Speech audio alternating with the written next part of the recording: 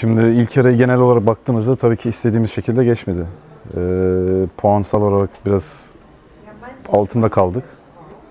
Ama bunun büyük bir sıkıntıları aştığımızı düşünüyorum. Ee, hem takım olarak sezon başladığında yönetim belli değilken biz itmanlara başladık. Sezon kampı geçirmedik. Daha sonra Sergen Hoca gelip de lige başladık. Orada bazı sıkıntıları çektik. Sonradan düzeldi ama yani ortam da düzeldi, performansımız da düzeldi. Ee, son iki mağlubiyetimiz biraz canımızı sıktı. Ama onun dışında e, taraftar desteği olsun, oyun anlamındaki e, geliştiğimizi gösterdik. Ve bu anlamda e, ikinci yer için güzel sinyaller verdik. Lige başladığımızda e, bir kere birçok futbolcunun sözleşmesi yoktu. Yani biz geldik itmanlara çıktığımızda daha yönetim yoktu. Sözleşmelerimiz de yoktu. Biz o şekilde itmanlar yaptık. Hocasız, tek başımıza.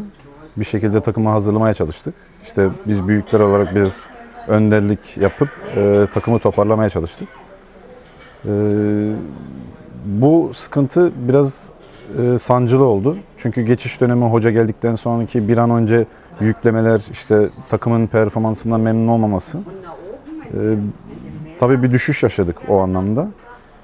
E, en büyük sıkıntısı en büyük sıkıntımız buydu. Biz her zaman yukarıları hedefleyip zaten e, ikinci yarın so- e, ilk yarın sonuna doğru bir yükselişimiz vardı performans ve sonuç olarak.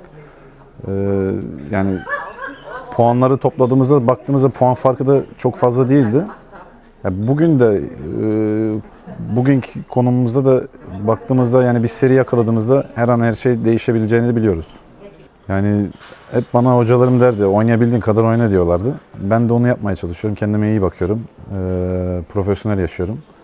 Yani bildiğimiz işi niye bir an önce vazgeçeyim, niye bırakayım diye düşünüyorum. E kendimi de iyi hissettiğim sürece oynamak da istiyorum yani. Yok yaş yok. Yani, yani dediğim gibi kendimi iyi hissettiğim sürece bir de zihinsel olarak e, hazır hissettiğim sürece bu işi yapmak istiyorum. Tabii ki e, o çok güzel olur. E, inşallah yani bunu başarabiliriz. E, başarabileceğimize inanıyorum. Yani bu kadro geçen sene tabii eksilen oyuncular, giden oyuncular oldu bizden. E, ama onu iyi bir şekilde e, şimdi ikinci yere hazırlanıp o hedefi ulaşmak istiyorum tabii ki.